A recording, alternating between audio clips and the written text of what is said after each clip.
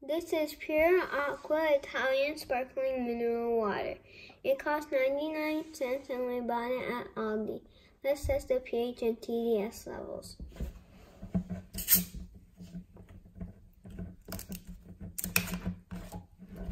Let's pour some water in.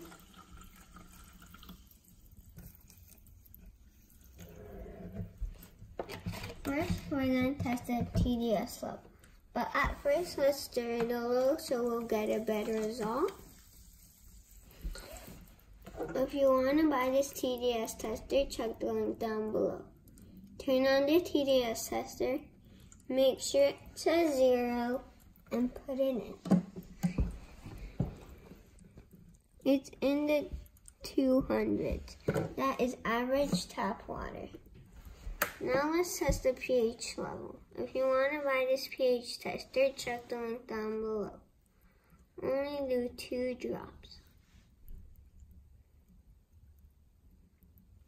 Let's stir it a little for a better result.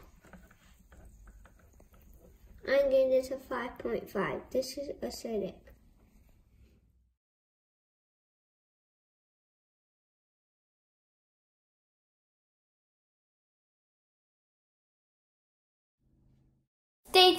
Like and subscribe.